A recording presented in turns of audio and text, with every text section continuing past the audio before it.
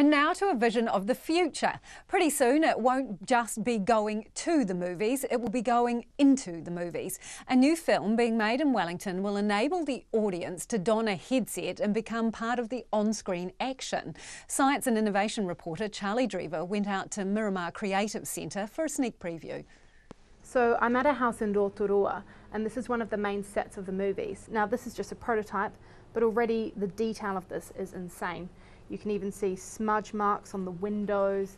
Um, it's, it's almost like a, a, a model house that you can go in and, and see the story. The film called Minimum Mass is the brainchild of director Raqi Syed and a group of researchers and students from Victoria University of Wellington. Raqi Syed says those watching the film will be both a spectator and the main characters. It's what I'm calling the quantum leap effect, where you can jump into someone's body and experience all of the um, emotional turmoil and the satisfaction that results out of that. The film set in Rotorua and also a science fiction world, following a couple as they grapple with loss after a miscarriage.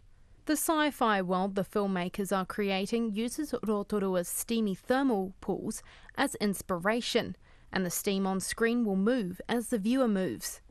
They also have to ensure the animated human characters are just right.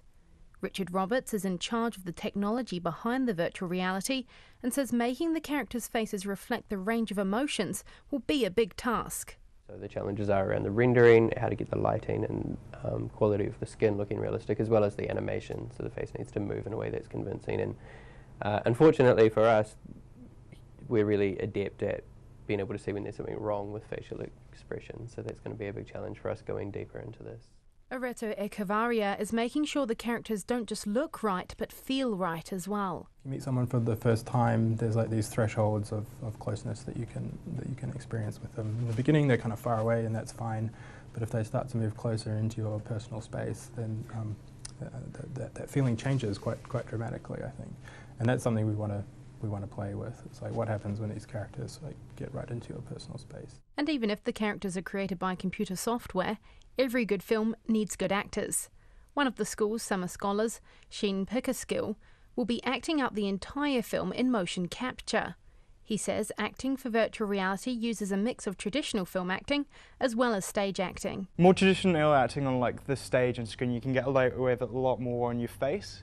Whereas if you're doing on theatre, you've got to think about more like how do I show that those emotions with my body, and uh, especially when you're playing different characters, different people hold themselves in different ways. Like if I'm, if I'm a bit more of a lazy character, I might slouch my shoulders, something like that. This would be too obvious for a film because it's like really exaggerated. But for theatre, that's fantastic because you never know how far back the theatre audience are actually going to be.